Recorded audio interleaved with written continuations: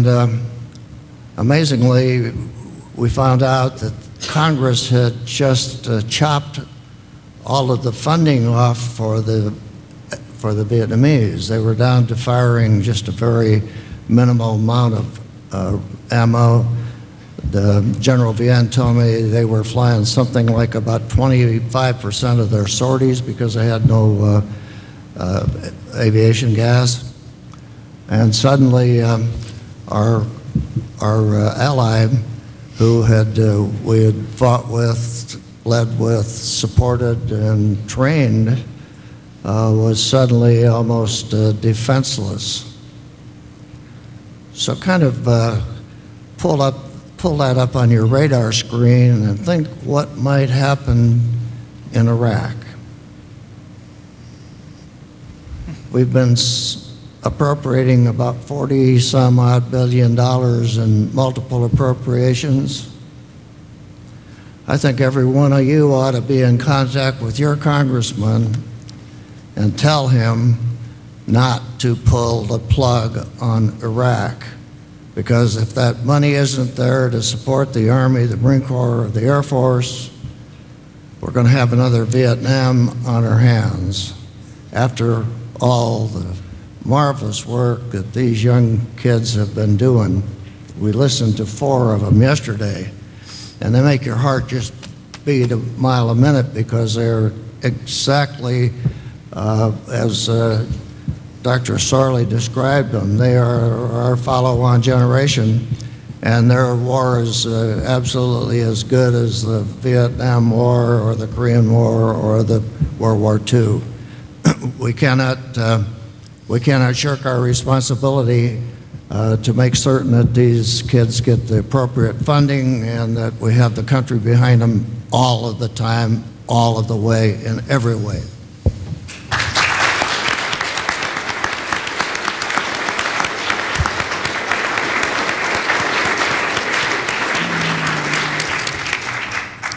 Could we take a few questions from the floor?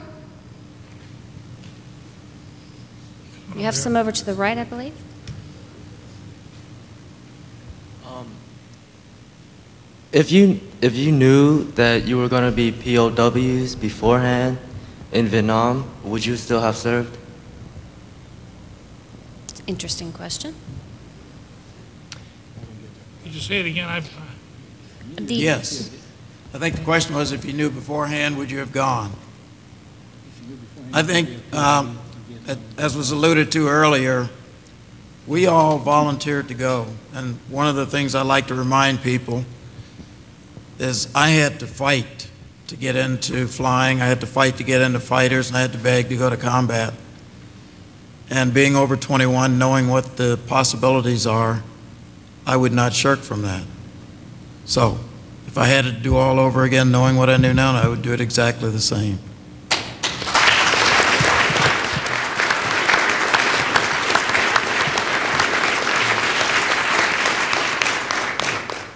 look who's friends, what kind of friends I have. You're damn right I'd do it again. He likes, he likes convicted felons. Yeah, you know, I, I, I, don't, I think any one of us would, would tell you uh, we were lying if we said, yeah, I'm anxious to go.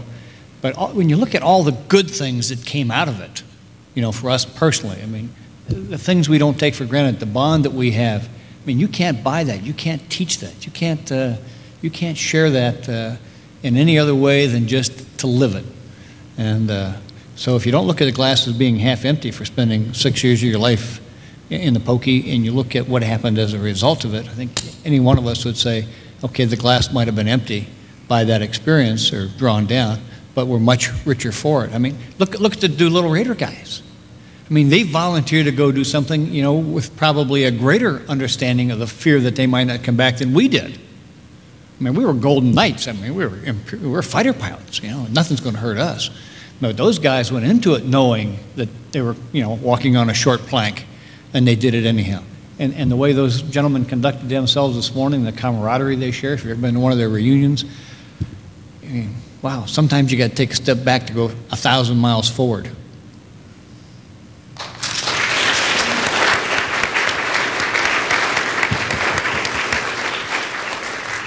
Yes, sir. My name is Gordon Sims. I'm retired Navy World War II. And uh, no one is, I, we see evidence of our, uh, many of our politicians uh, losing courage and uh, getting in step with the, popular anti-war. But no one has mentioned the influence of our uh, major media that has certainly had a great effect of this uh, recent election, I would say especially in Virginia. I'm from Virginia. But uh, I would say I'd like to hear from Doctor here uh, and others, uh, what, how do they feel about the, the treatment by our media, major media? So the way I understand the question is you're interested in hearing from them about the impact of, of media on specifically their experience, or you would like them to comment about the support and current issues? the, the support and the possibility of cutting off funding. Uh, so uh, to me, the media has had a tremendous impact of the attitudes of the American people and of the politicians. And uh, to me, it, it has not been the proper influence. I'd like to hear other opinions. Gentlemen? I listen to Fox.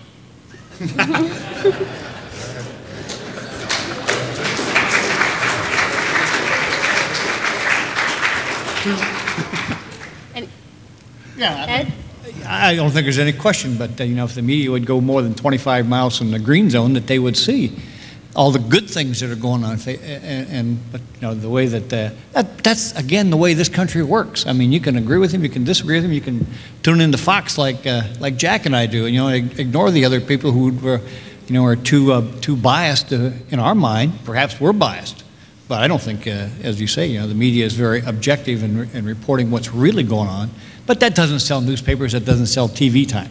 You know, the fact that we've got a bunch of GIs and a Army National Guard outfit from Arkansas is out building a school, you know, 100 miles away from Iraq. Well, it's hard to get there. You got to go through the fringes of the, of the, of the green zone. You got to go through all the possible bad things that can happen, you know. So who wants to go out and watch GIs from Arkansas build a, uh, a school in Iraq? It's not news.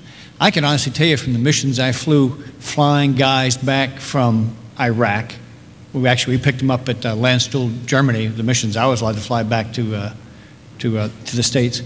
These these kids all want to go. But the other good news is about half of the casualties are not war related. You know, these are guys smashing their thumb with a hammer while they're building a school. These are guys dropping a crankshaft on themselves while they're trying to help somebody put a car back together, falling through a roof, or uh, some of the funny ones were guys who were running around at night playing tag with those little goggles that got down in front of the head. You know, so I mean, a lot of the injuries are, are come from things like that. Those are the good news. Those are the funny things. That again, you're right. You know, the media really doesn't paint a balanced picture. And uh, not to get too political here, but you know, one of the great revelations to me in this war was some guy named Geraldo Rivera, who 10 years ago was so anti-military it seemed. You know, I couldn't stand him, and now he's one of our biggest boomers. And he's one of the few guys that actually goes over and does uh, a lot of the good news stuff, which I rather enjoy seeing on Fox. The, the Vietnamese had a.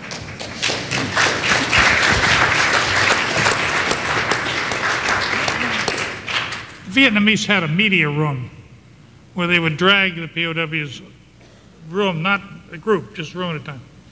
And they would be pictures of the anti-war movement, which they would describe as three million people marching down streets in San Francisco who had a sign that said, we are against the war, we are against six other things, and the Colts. Now, there's a hell of an anti war statement. We're against the Baltimore Colts. So, the first time we went in there, we saw something that we'd never seen before.